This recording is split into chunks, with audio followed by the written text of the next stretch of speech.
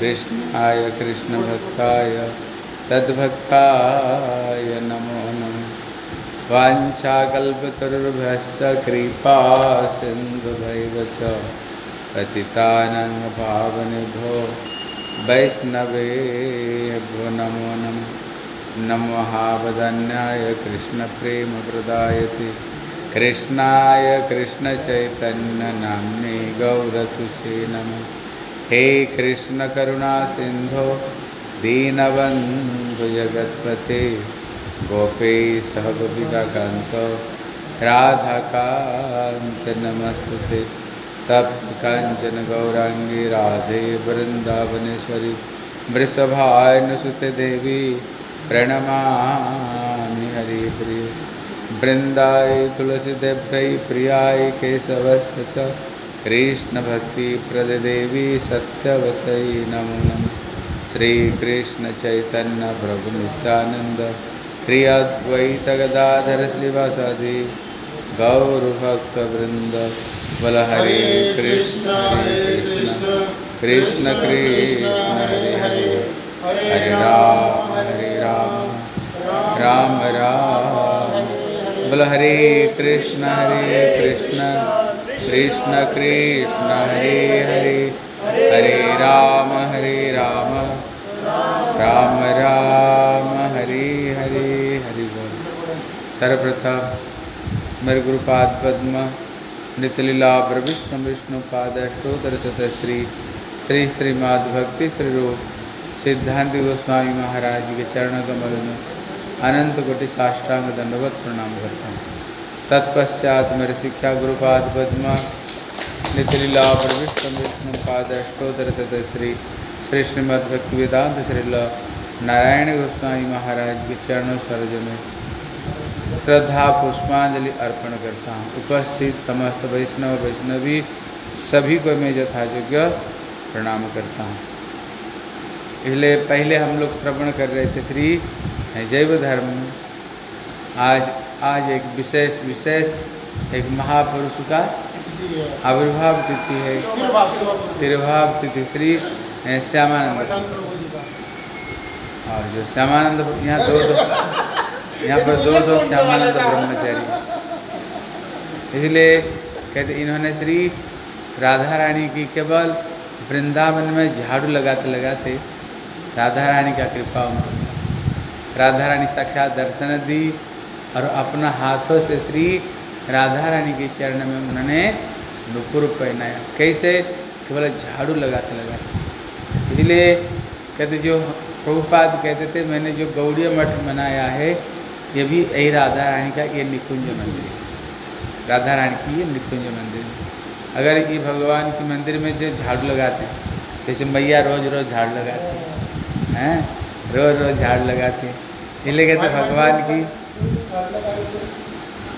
भगवान के दरबार में अगर झाड़ू लगाएगा ना, बस झाड़ू लगाते लगाते राधा रानी की कृपा मिल जाएगी। झाड़ू लगाते लगाते राधा रानी की। और जो मंदिर की झाड़ू लगाते हैं कहते तो मंदिर की झाड़ू नहीं कहते अपना हृदय में झाड़ू लगाते हैं। श्री चैतन्य महाप्रभु भी केवल उन्होंने प्रताप रुद्र को देखा, केवल झाड़ू लगाते हुए, बस कृपा होगी महाप्रभु बोला, बोले थे, मैं विषयों का दर्शन नहीं करता हूँ, लेकिन उन्होंने किस गुण पर संतुष्ट हो गए? बोले, कहाँ राजा, हैं? और झाड़ू कहाँ लगा रही जगन्नाथ जी की मंदिर को सामने झाड़ू लगा रहे थे। कहते तो उत्तम हैया करे, अधम से वन अतएव तुम ही हो जगन्नाथ रे कृपा भाजन। बोले, तुम उत्तम हो करके क्या कर रहे हो? हमारे भारत में झाड़ू, कहते हैं झाड़ूदार। हाँ मेहनत रानी झाड़ू जमादार, ये झाड़ू लगाते हैं। लेकिन भगवान के दरबार में झाड़ू लगाना वो साधारण बात नहीं। ये साधारण बात नहीं भगवान की दरबार में झाड़ू लगाना। केवल उन्होंने झाड़ू लगाया तो जगन्नाथ जी प्रसन्न हो गए और प्रसन्न होकर उनको दर्शन दिया। इसलिए भगवान के दरबार में हमारे गुरुदेव हमारे गुरु जी के मंदिर में जब पहले कोई आते हैं ना, उनको गुरुदेव कहते, रोज़ रोज़ मंदिर की झाड़ू लगाओ और मंदिर की पोछा लगाओ। मैं जगन्नाथपुरी में था छः साल उधर रहा छः साल ही झाड़ू लगाया और छः साल मंदिर को मैंने धुलाई। रोज़ मंदिर को धोना था पोसता था और मंदिर को मैं रोज़ रोज़ साफ़ सुथरा करता था।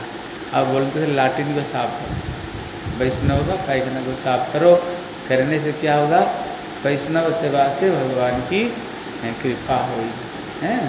इसलिए आज शाम को हम उनकी कथा को सुनेंगे। अभी सवेरे श्री जैव धर्म को हम सुन लेते हैं। पहले हम लोग ने सुना था, हैं, श्री, यहाँ पर श्री बाबा जी महाराज कह रहे हैं नित्यानंद प्रभु का कृपा पात्र श्री कृष्णदास कविराज गोस्वामी का लिखा हुआ एक चैतन्य चरितामृत मेरे को दिया था, जिसमें लिखा हुआ था, जीवर स्वरूप है कृष्ण नित्य दास कृष्ण तटस्था शक्ति भेदा भेद प्रकाश। कृष्ण भूलि से ही जीव अनादि बहिर्मुख अतएव माया दे संसार आदि। कहते ये चार लाइनों को हमें याद कर लेनी चाहिए। ये विशेष लाइन है। जीव का स्वरूप क्या? भगवान का, कृष्ण का ही नित्य दास है। और कहते हैं उसका सृष्टि कहाँ से हुआ? बोले, तटस्था शक्ति तट मतलब होता है जहाँ पर एक तरफ़ में पानी और एक तरफ़ में भूमि। उसको बीच को हम कहते ना, ये तट है। हाँ ये तट उसे कहते हैं। इसलिए कहते जीव का जो सृष्टि है, कहते ये तटस्था शक्ति से हुई। एक तरफ़ में माया की जगत और एक तरफ़ में भगवान की जगत। भगवान ने कहा, देख, अगर तुम मेरे सेवा करोगे ना, अनंत आनंद। अनंत सुख की अनुभूति करोगे। अगर तुम तो माया में जाओगे तो फिर तो दंड भोगना पड़ेगा, डंडा पड़ेगा। लेकिन हमें डंडा को ही स्वीकार किया। फिर कोई बात नहीं, हमें डंडे पड़े। हमारे ऊपर डंडे ही पड़े, लेकिन हम माया में जाएँगे। लेकिन हम भगवान की तरफ़ में गए नहीं, ठाकुर जी का तरफ़ में हम गए नहीं। इसलिए कहते, सारे दुख का मूल कारण क्या है? कृष्ण भूलि सहजीव अनादि बहिमुख हमने भगवान की सेवा को, भगवान की भक्ति को, कृष्ण को छोड़ दिए अनादिकाल से। इसलिए माया क्या कर रही है? संसार में उसको दुख कष्ट दे रही है। इसलिए ये माया की बनाया हुआ ये जेल ये संसार क्या है?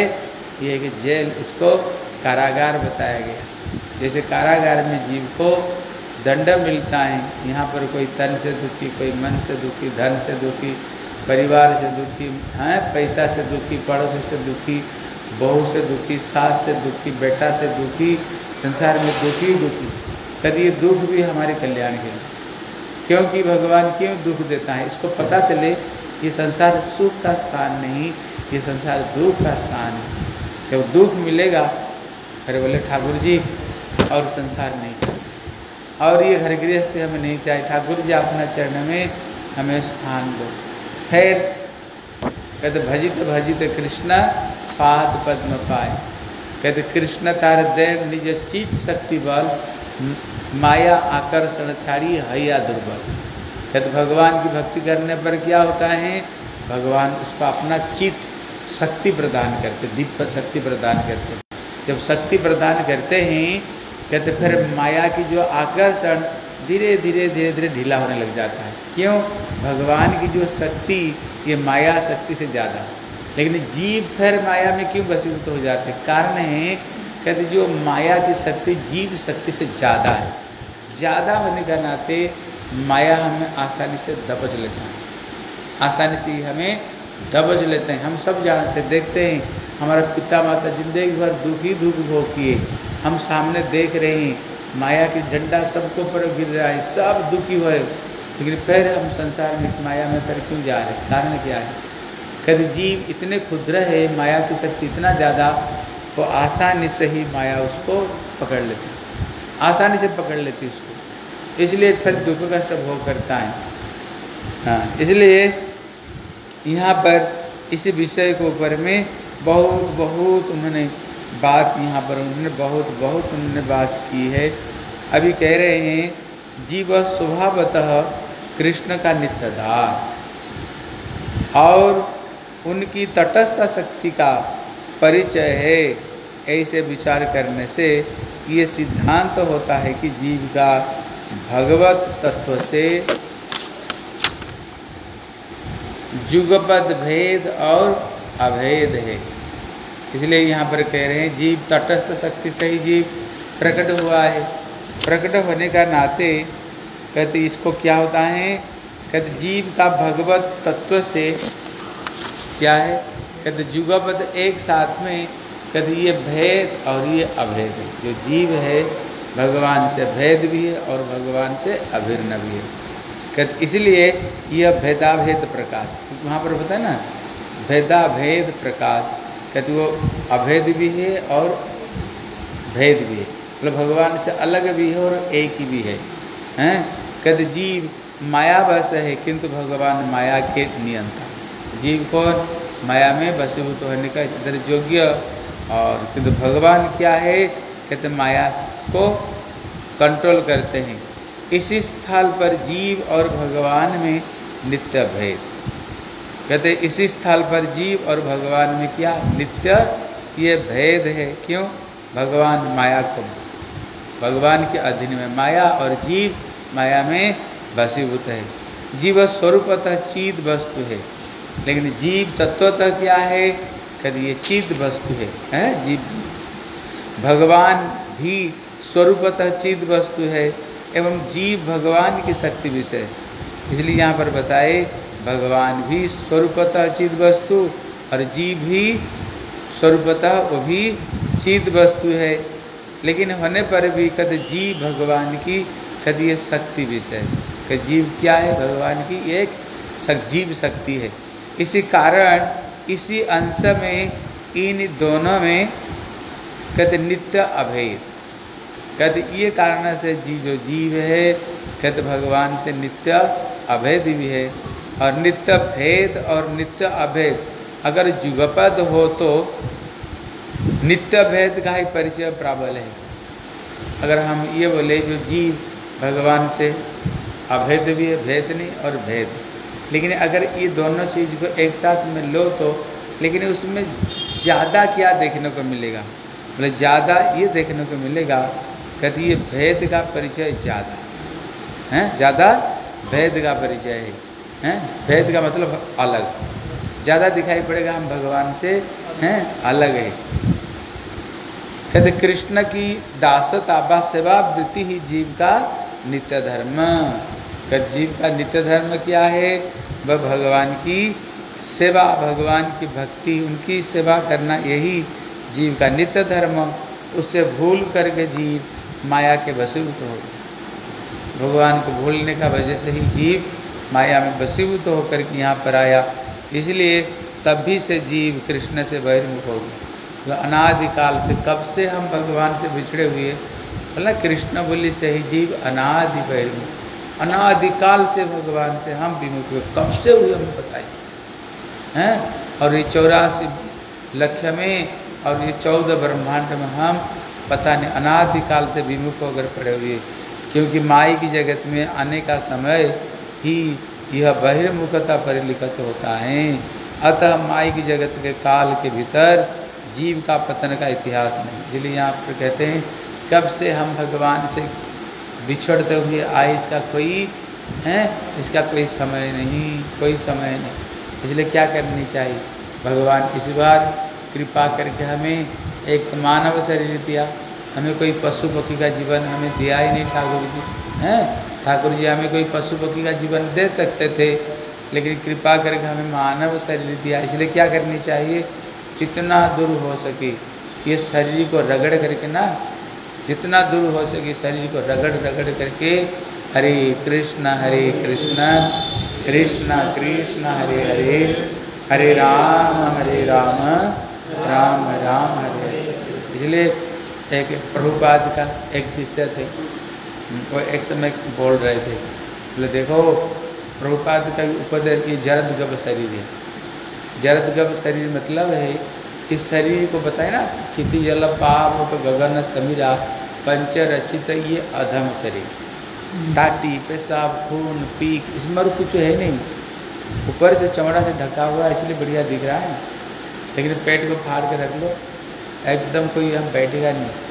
आप देखो, सवेरे रात को सोते हो, सवेरे देखो, मुँह से बदबू, आँखों से बदबू, नाक से बदबू, और नीचे से तो बदबू बदबू निकलता पेशाब पायखाना रूप में बदबू। आप ब्यूटी पार्लर में जाओ बढ़िया करके सज धज, बढ़िया करके। अभी गर्मी जैसे, केवल बाहर पाँच मिनट निकल जाओ देखना ये हर रोम रोम से पसीना निकलता है। पसीना देखना, पसीना से बदबू ही बदबू निकलती। पसीना से दुर्गंध निकलती। लेकिन प्रभुपाद कहते, भैया, ये शरीर जर्द जर्द गब शरीर किसी काम का नहीं बेकार है। लेकिन इसी शरीर से जितने लाभ उठा सकते हो, बोले, है तो शरीर अनित्य है। लेकिन ये शरीर से तुम परमार्थ को प्राप्त कर सकते हो। भगवान की प्रेम को, भगवान की भक्ति को इसी शरीर से प्राप्त कर सकते हो। इसलिए कहते, क्या करो? कहते, ये जीवन रहते हुए, ये जीवन रहते हुए। प्रभुपाद कहते हैं, ये जीवन रहते हुए, ये समय को और बर्बाद मत करो। कितना जीवन में हमने समय को बर्बाद बर्बाद करके आए, ये शरीर को इस बार बर्बाद मत करो, हैं? माया के संसार में बर्बाद नहीं करके इसको शरीर को रगड़ रगड़ करके जितना हो सके भगवान भजन, भगवान का नाम, कीर्तन हर समय क्या करो? चलते, उठते, बैठते, सोते, हरे कृष्ण हरे कृष्ण कृष्ण कृष्ण, हरे हरे हरे राम हरे राम राम राम, हरे हरे, हैं? ये जीवन को भगवान के भजन में लगा दो। क्योंकि अगर इस शरीर एक बार छूट गए ना पता नहीं कौन सा जीवन मिलेगा। भगवान की जो जीवा दिया है, हैं, इसलिए नरोत्तम दास ठाकुर कहते हैं, पाखिरे जे नाम लवाई ले लाए, सुख सारी आदि कत तुम्ही जई हाथे आलस्य कर के मन मात। वो कह रहे हैं, भैया, अगर तुत्ते को और मैना को बोलोगे ना, भैया, बोलो, राम राम, कृष्ण कृष्ण, वो भी राम राम, कृष्ण कृष्ण बोलता है। हैं? लेकिन उसको तो बुलाना पर भी और तोतली तोतली बोल से कितना कितना राम राम, ऐसे बोलता है। लेकिन हम लोग तो स्पष्ट रूप में भगवान का नाम को ले सकते हैं, स्पष्ट रूप में। इसलिए क्या करो, हर समय कभी भूलो मत भगवान को। इसलिए हर समय भगवान की नाम को लेते रहो। बस, नाम को लेते रहेंगे तो जीवन में बेड़ा पार हो जाएगा। इसलिए यहाँ पर कह रहे हैं, बहिर्मुख। क्योंकि माई की जगत में अनेक समय से ये बहिर्मुखता परिलक्षित होती अतः माई की जगत के काल के भीतर जीव के पतन का इतिहास नहीं। मतलब कब से हम भगवान से विमुख हुए, इसका कोई इतिहास नहीं। इतना दिन से हम ये माया के संसार में आए, इसका कोई इतिहास नहीं, है? इसलिए क्या बता दिया? अनादि। कब से भूले उसका कोई पता नहीं। इसलिए अनादि बहिर्मुख शब्द का व्यवहार किया। बहिर्मुखता और माया में प्रवेश करने का काल से ही जीव का नित्य धर्म विकृत हुआ है। यदि ये हमारे जो नित्य धर्म क्या है? जीवन स्वरूप है कृष्ण नित्य दास। नित्य ही कृष्ण का सेवा करनी चाहिए, उनका दासत्व, हैं? नित्य ही दासत्व करनी चाहिए। लेकिन यहाँ पर कहते हैं हैं? जीव का नित्य धर्म, लेकिन भगवान को भूलने का नाते हमारे जो धर्म क्या हो गया, ये विकृति हो गया। ये विकृति हो गया, जैसे जल बर्फ़ बन जाता है, और बर्फ़ बन करके अपना परिचय देता है बर्फ़। वो नहीं कहता मैं पानी हूँ। कहते उसी तरह हम क्या भगवान के नित्य दास? लेकिन अभी पूछो हम क्या बोलेंगे? कहते मेरे ये पिता है, ये माँ है, ये मेरी बहू है ये मेरे बेटा है, ये मेरी बेटी है, हैं, ये मेरे घर है, ये मेरी दुकान, मकान। लेकिन हम ये नहीं कहते हैं ये भगवान की दुकान, मकान। ठाकुर का ही है, हम भगवान का दास है और ये जितने हैं सबके सब भगवान की सेविका लेकिन हम ये नहीं बोलेंगे, कहते मैं, मेरे मेरे मेरे मेरे, इसलिए बकरी, मैं मैं मैं करता इसलिए मरता है। हैं, इसलिए बकरी मरता है। इसलिए एक उदाहरण देकर समझाए पिशाच पायल जन्मति न है, मायाग्रस्त जीवर है से भाव होते आप लोगों ने कभी देखे हो किसको भूत लगता हुआ? कभी देखे हो किसको भूत? कभी नहीं देखे। हम लोग गाँव में थे, देखे। जब किसको ऊपर के भूत में सवार होता है ना, वो भूत को पूछो, भैया, तुम्हारी क्या परिचय है? वो नहीं बोलेगा, अपना परिचय नहीं देगा। बोलेगा, मैं अमुक जहाँ का मैं रहती थी, मेरा नाम ये है वो बाल बिखरा करके जा रही थी, इसलिए हमने उसको पकड़ लिया। उसको हमने पकड़ लिया और मेरे पति का नाम ये, हम इसी गाँव के रहने वाले। वो जितना पहला परिचय देगा, अभी का परिचय कुछ भी नहीं देगा। क्योंकि उसके ऊपर माया, उसके ऊपर भूत लगा। कहते, हमारे ऊपर में भी माया की भूत लग गया। हैं? माया के भूत लगने के नाते हम अपना असली परिचय नहीं दे करके हम भगवान का दास ये नहीं दे करके अगड़ुम बगड़ुम जितना सारी दुनिया की, इधर उधर की हम परिचय हम सबके सब देते हैं। इसलिए कहते हैं, हमारा जो धर्म है, ये पूरा का पूरा हमारी विकृति हो गया, है? देखो ना, जैसे कि पागल है, रास्ता में, देखो ना क्या क्या बकवास करता है, क्या क्या बकवास करता है। इसलिए अभी हम सबके सब पागल है, हैं? माया की पागल है सबके सब। अतएव माया के संग से जीव का निसर्ग उदय होने पर नैमितिक धर्मों को प्रकाशित होने का अवसर मिला है। क्या हुआ उसमें? माया की संग से जीव का निसर्ग उदय हुआ। निसर्ग किसको कहते हैं? निसर्ग किसको कहते हैं? क्या बोलो उसका?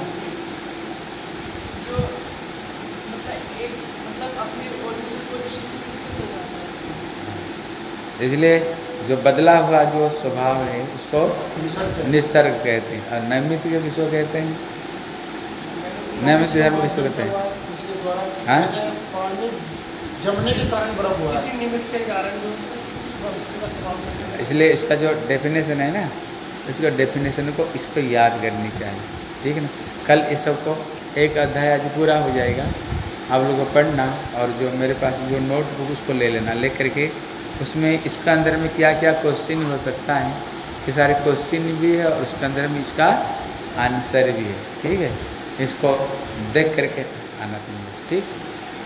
इसलिए कहते नैमितिक धर्म को प्रकाशित होने का अवसर मिला। इसलिए जीव को क्या हुआ?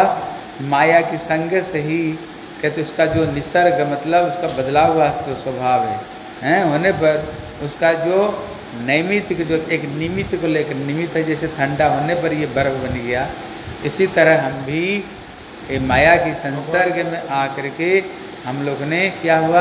अपना असली स्वरूप को हम लोग ने भूल गए हैं।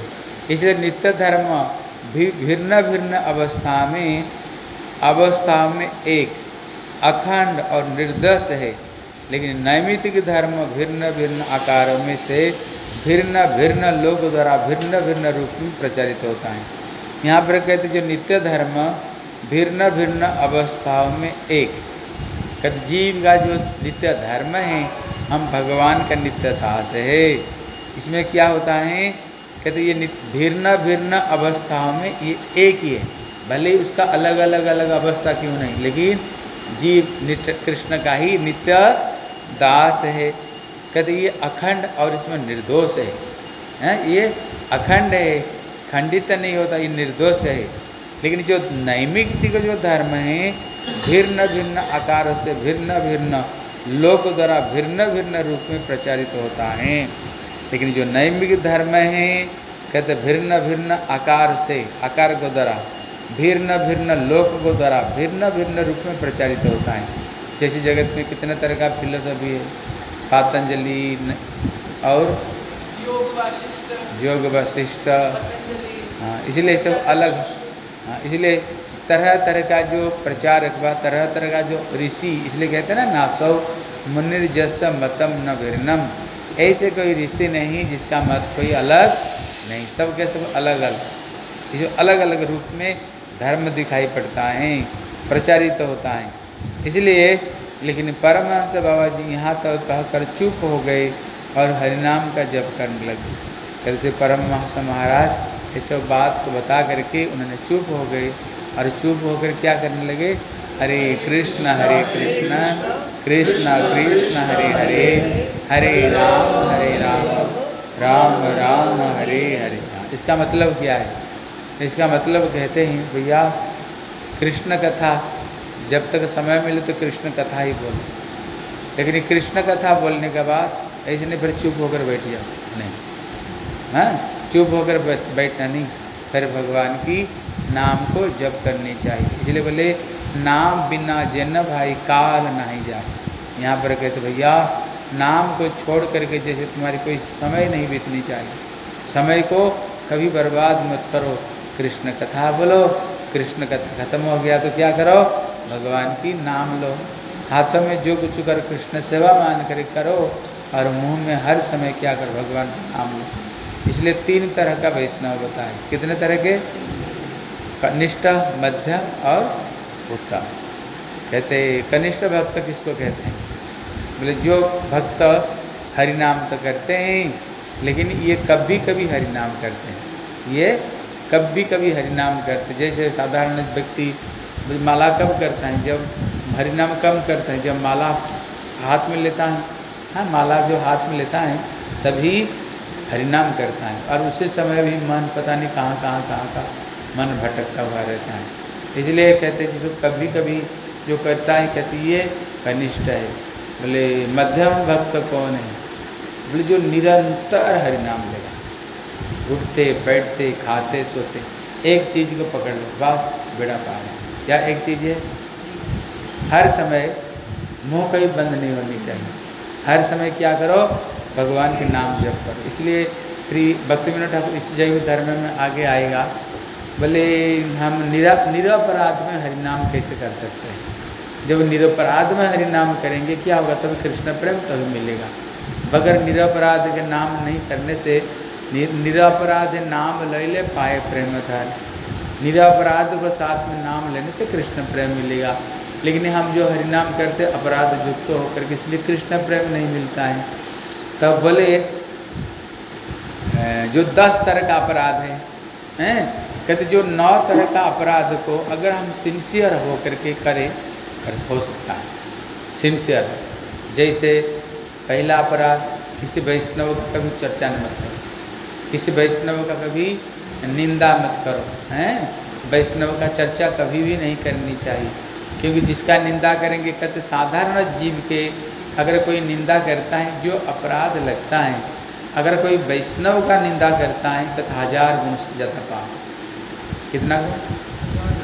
हज़ार गुण अगर किसी वैष्णव का तुम निंदा करते हो, हज़ार गुण उसमें निंदा बताए करनी नहीं चाहिए और सुननी भी नहीं चाहिए। करना जितना पाप, सुनना भी उतना ही पाप है। इसलिए वहाँ पर बताए, अगर किसी वैष्णव का कोई बुराई कर रहा है, उस समय क्या करो? अगर तुम्हारे अंदर में समर्थ हो तो इसको जीहा को काट दो, यहाँ तक बता जो वैष्णव के बारे में कोई बुराई कर, उसका जीवा को काट दो। एक तो समर्थ रहते हुए जीवा काट दो। अगर तुम जीवा नहीं काट सकते हो, दूसरा काम क्या करो? शास्त्र के द्वारा, शास्त्र के द्वारा उसको जीवा को स्तंभित कर दो। बोले, नहीं, वैष्णव का बुराई नहीं करनी चाहिए। हैं? क्या बनो? जो मधुमक्खी बनो। मधुमक्खी क्या करता है? एक मक्खी और एक मधुमक्खी। मक्खी कहाँ बैठता है?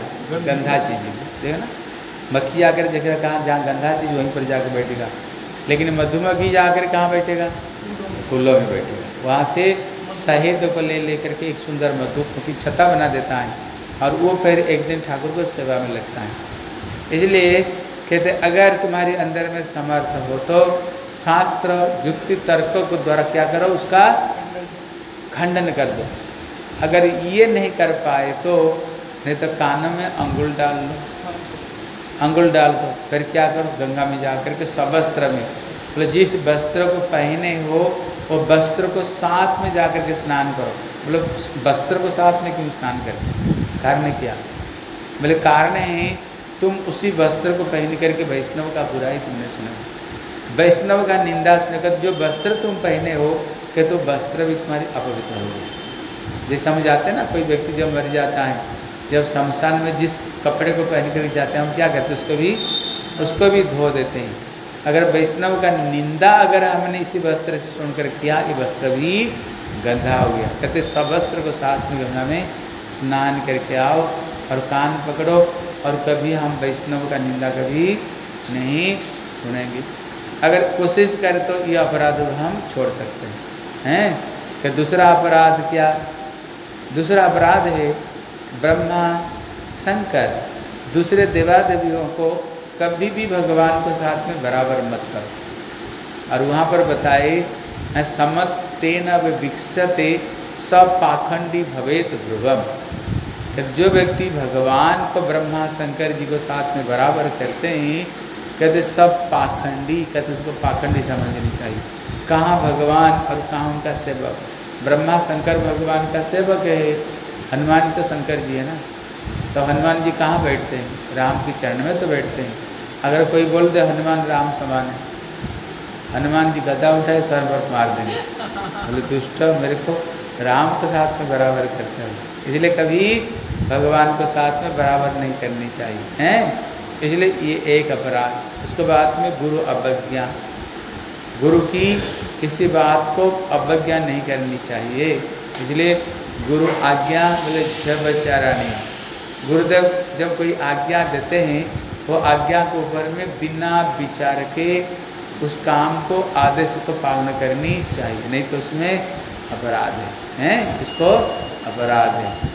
और गुरु जी की इच्छाओं को जान करके सेवा करनी चाहिए। गुरुदेव चाहते हैं क्या हैं? गुरुदेव चाहते हैं क्या अगर उनको इच्छा आदेश देने से पहले ही गुरु जी की भावना को समझ करके जो सेवा करते हैं, कहते वो उत्तम सेवक है। कौन सा सेवक है? कहते वो उत्तम सेवक है। हैं? अगर आदेश को जो पालन करता है, मध्यम, लेकिन आदेश देने पर भी जो पालन नहीं करते हैं, कहते वो अधम है। इसलिए कहते गुरु अवज्ञा इसलिए बृहस्पति को अवज्ञा इंद्र ने किया है। उनका गले में माला पहना रहे थे। देवता दैत्य में लड़ाई हुई। वे मोटे मोटे माला पहना रहे थे। बोले किसको? बोले इंद्र को। बोले इंद्र महाराज की? जय। जय जयकार हो रही थी। हैं? बड़े जय जय जयकार। इतने में बृहस्पति ने देखा कि जो दैत्य लोग फिर षडयंत्र बना रहे हैं ये देवता का आक्रमण करने के लिए। इसलिए गुरु जी उनको ये बात बताने के लिए आए। इसके कल्याण करने के लिए गुरु जी आए। लेकिन इंद्र जब देखा बृहस्पति आ रहे हैं दूर से। बोले, अभी तो मैं सिंहासन में बैठ करके मेरे जय जयकार हो रहा है। हैं, श्री इंद्र महाराज की जय। अगर गुरु जी आएँगे तो क्या करना पड़ेगा? मेरे को सिंहासन से उतरना पड़ेगा और गुरु जी को वहाँ बैठा करके उल्टा गुरु जी की कले में मला देंगे। मेरी इज़्ज़त कम हो जाएगी। इसलिए उन्होंने गुरु जी को देखा दूर से, बस मुँह को फेर दिया। हाँ बोले गुरु जी का कोई बुद्धि है ही नहीं। जब तक मुँह उठा कर चले जाते, कोई काम काम है ही नहीं गुरु जी लेकिन गुरु तो साधारण थे ही नहीं। वो सब समझते थे। बोले, ओ, मैं तुम्हारे कल्याण करने आ रहा हूँ। दैत्य लोग षडयंत्र कर रहे हैं। और तू गुरु जी को देख कर मुँह को फेर दिया।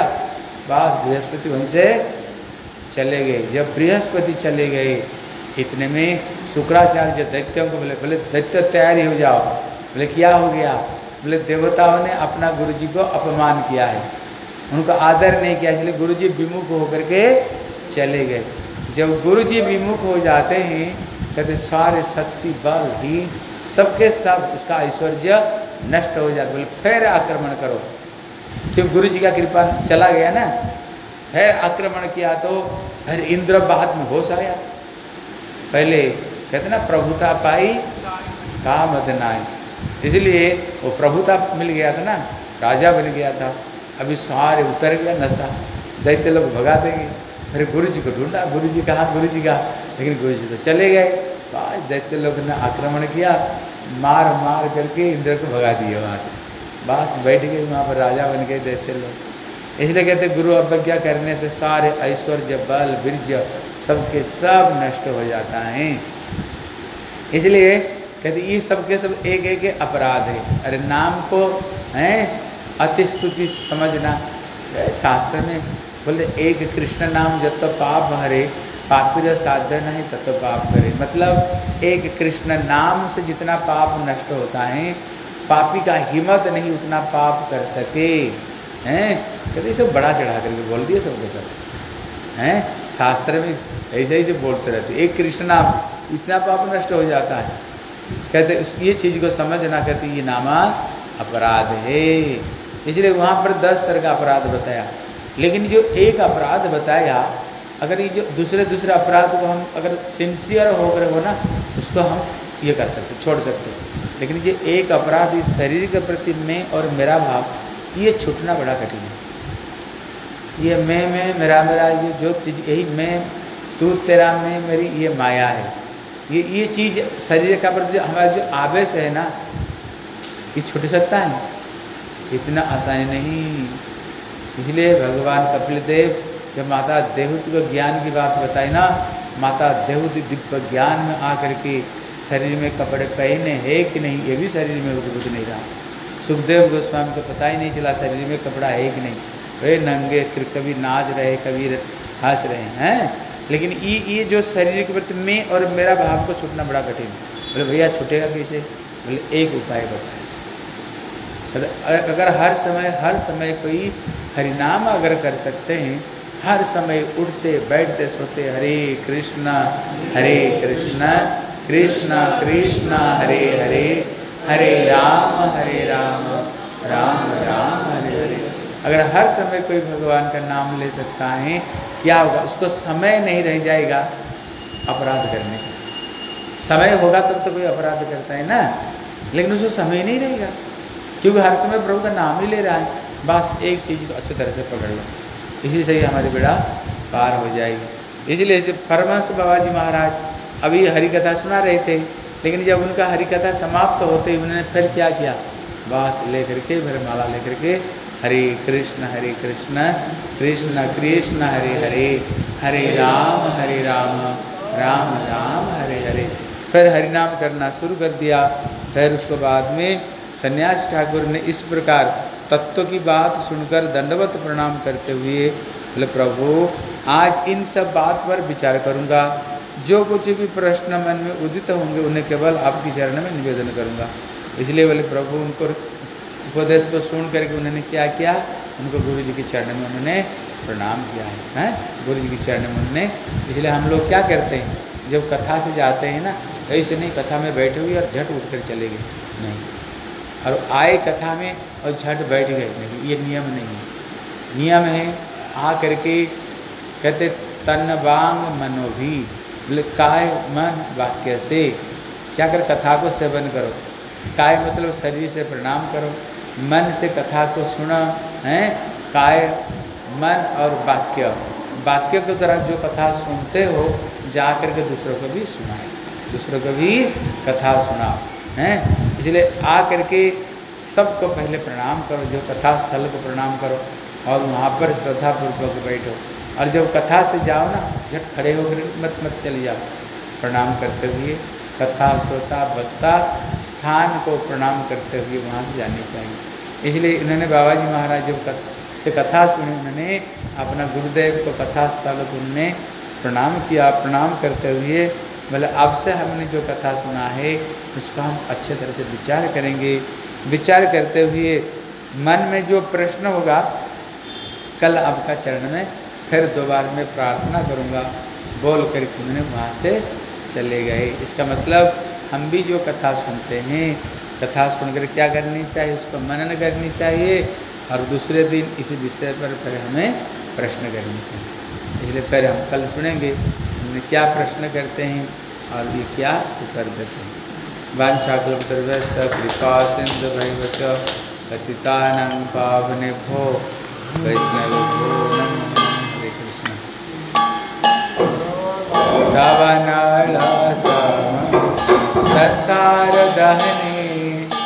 दग्धजीवकुला उधरकारणि करुणावारिद कृपवारिदानि वन्दिते कृपारि दाने बन्दिशी गुरु शरणकमल नृतगीतवाद श्रीहरिकीर्तने राहिलमगन महमतमनि रोमाञ्चकं भासु हाय गौर बंदी से गुरु चरण कमल सदर कलीनि विग्रह शिवने श्रृङ्गारदिया मंदिर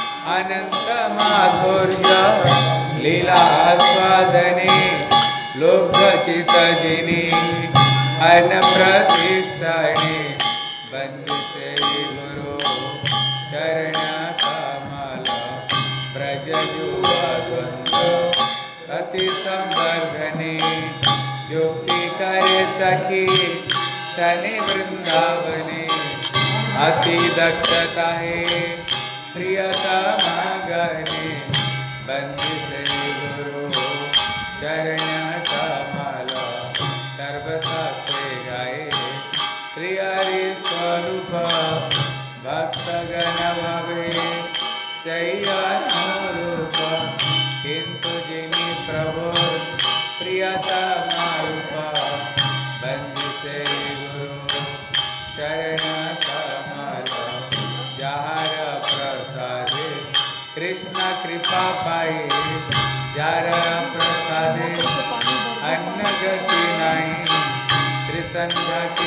सब जाने भाई बंद से गुरु चरण कमला।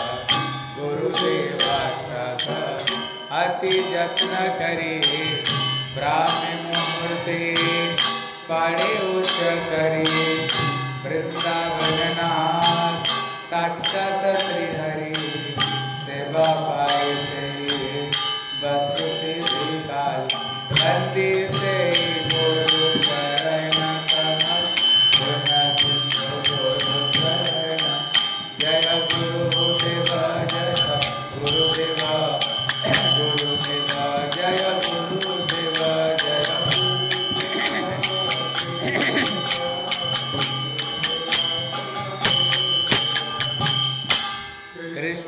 হইতে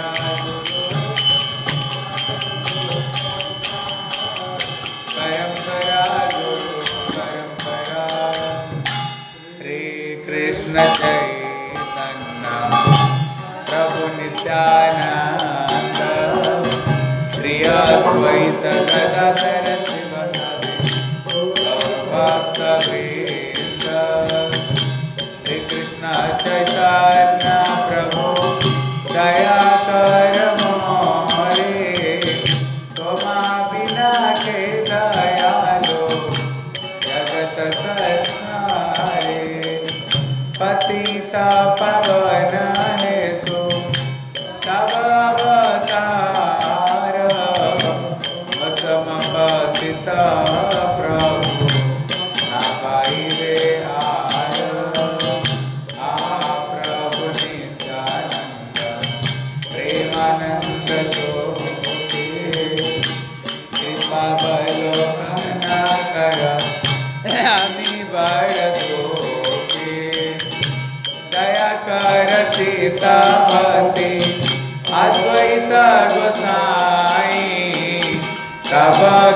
भे भा जसन पिता